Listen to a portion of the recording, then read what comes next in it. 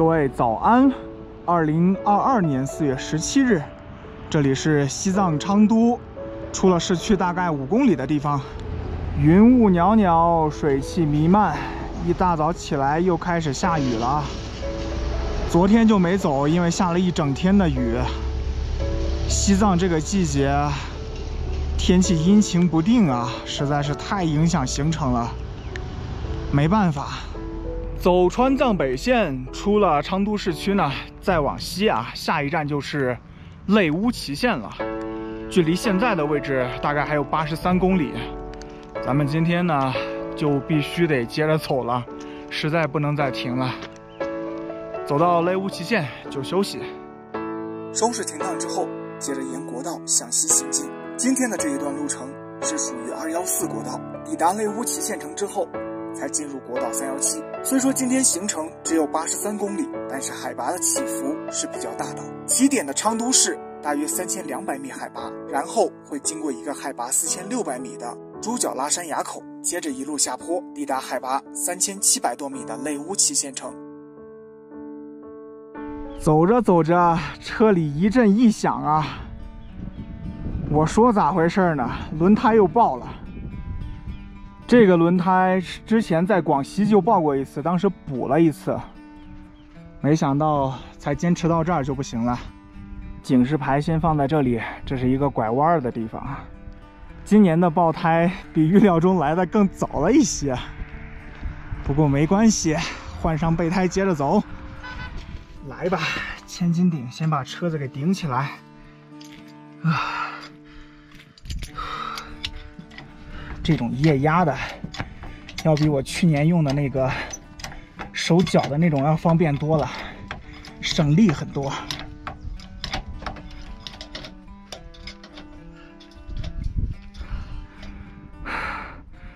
太沉了，累死我了。先把驻车的千斤顶也放下来，万一那个千斤顶撑不住，还有一个。然后把破掉的轮胎给卸下来，要用到工具了。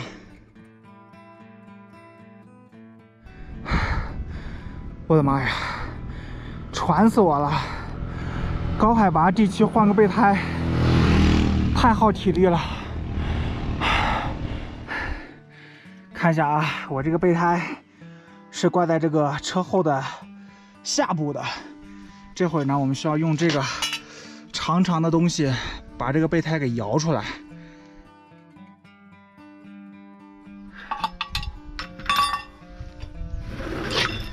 喂，嘿，装不上去啊，好像高度有点低了。先把气放出来，然后待会儿再冲吧。不太行呀。我带着这个千斤顶应该是太小了，所以它升的高度不是很高。我把它顶起来之后，轮胎还是放不进去。现在没办法啊，只能先把驻车的千斤顶给放下来，完全支死，然后把这个小千斤顶先撤出来，往里面再深一点，看能不能把它升得更高。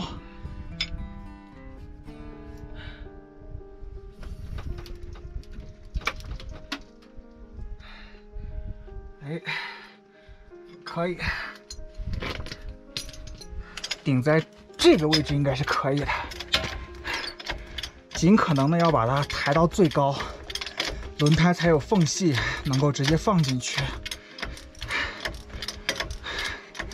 哇，这种大车玩着确实没有小车那么省力啊！遇到这种情况，体力消耗太严重了。还是不行啊！千斤顶升起的高度还是不够，这没办法了，只能打电话叫汽修了。幸亏离有急事的地方不远啊，大概五公里就有一个汽修厂。这种事情你是没办法的，你要是遇不到事情，你根本就没有经验，到底该带多大的千斤顶？然后换胎要怎么弄，什么什么的乱七八糟的，都得一点一点在路上学。我第一次走西藏的时候，连备胎还不会换呢，现在能换备胎了，但是工具又不行。我的妈呀！打完电话了啊！汽修厂离这儿大概七八公里，很近，然后静待救援就可以了。今天也是，等到市区之后，我得换一个千斤顶了，换一个大点儿的千斤顶。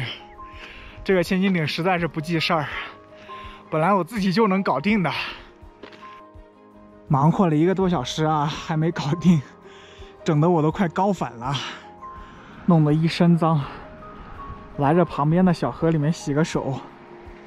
这河应该是昂曲河，流到昌都市区之后就汇入澜沧江了。哎呦喂！汽修厂的师傅马上就过来了。到汽修厂大概是九公里的路程。本来啊，我想让他直接给我带一个轮胎过来，但是这边轮胎卖的是比较贵的，六百三十块钱加上手工费。加上安装的费用，这一趟下来一千块钱。我一想，算了吧，就让他直接先给我送一个千斤顶过来，然后帮我装上。只送一个千斤顶的话，不要它的轮胎，只需要两百块钱就可以了。救援没等来，雪先下起来了。哎呦我的妈呀！啥叫屋漏偏逢连阴雨？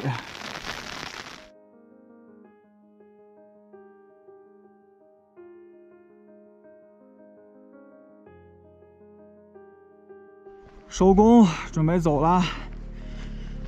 十点钟忙到十二点半，终于是可以走了。还有一个半小时就到内乌齐了。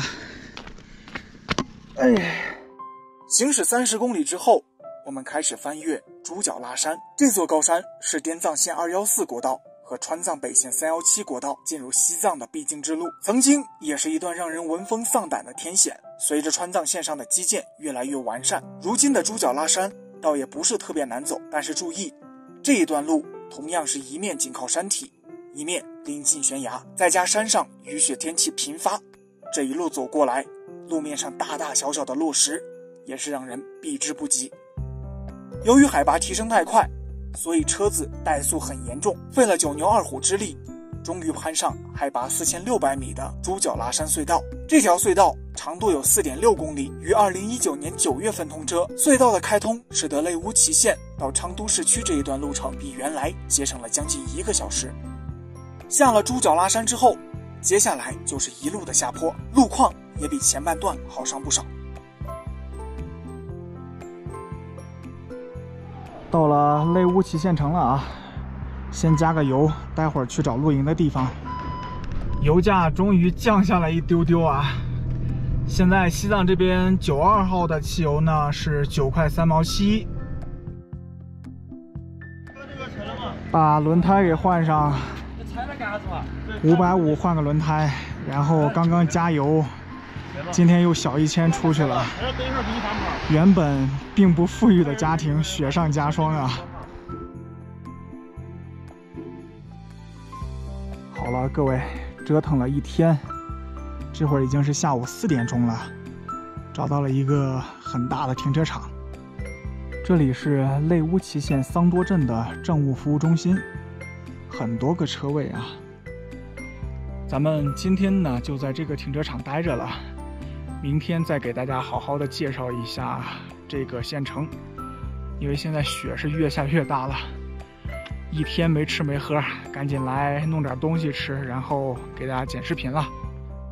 我是冬瓜，正在一人一车自驾川藏北线，点赞、评论、加关注，远方的风景就是我此生的信仰。